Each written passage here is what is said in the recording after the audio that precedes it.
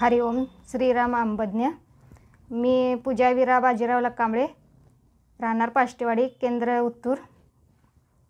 माझा मी चौदा तेरा तेरा चौदा वर्ष झाली मी बापूंच्यामध्ये आहे. माझा आलेला अनुभव मी डिलेवरी माझी झाली होती.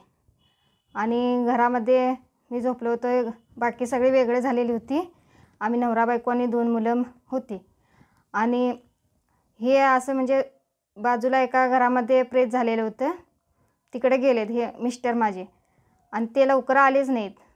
आले नाहीत मी वाट बघित झोपलो. बारा एक वाजले. तरी पण ते आले नाहीत. मच्छरदाणी अशी लावलेली होती. आणि त्यानंतर जाग आली. हे आलेत का बघितले तर मिस्टर आलेले नव्हते. नंतर बघितलं तर डोळं उघडलं लाइट लावलेला होता. मच्छरदाणीवरती साप होता. आता काय करायचं? दोन्ही बाजूला दोन लहान मुलं होती. काय करायचं मला काहीच कळत नव्हतं. बापू बापू बापू म्हटलं.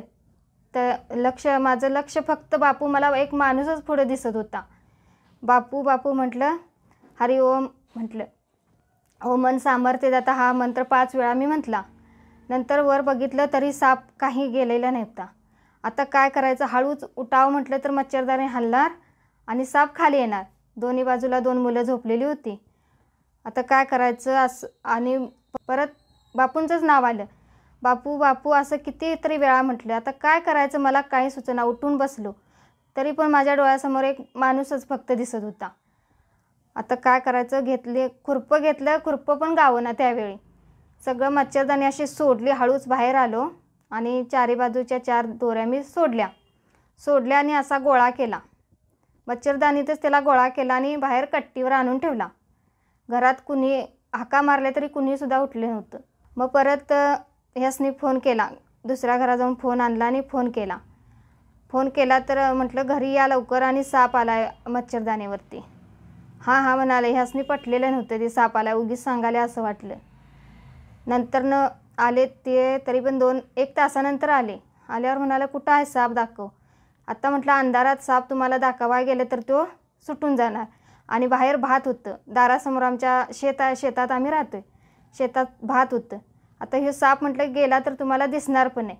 तसंच गुंडाळी करून ठेवला कट्टीवर आणि झोपलाव घरात येऊन. आणि सक सकाळपर्यंत मला झोपच लागायनी साप कसा काय आला काय असेल काय नसेल असं. सकाळी उठून बघितलं तर साप होता तसा होता. मिस्टरांना घेतलं म्हटलं बघा चला साप आहे का नाही. तर बघितलं मच्छरदाणी सोडून खरोखर साप खूप मोठा साप होता. त्यानं माझ्या पोरासनी नाहीतर मला काहीही केलेले नाहीत. आणि माझ्यासमोर मला जे दिसत होते ते माझे बापूच होते. हरिओम श्रीराम आंबदने.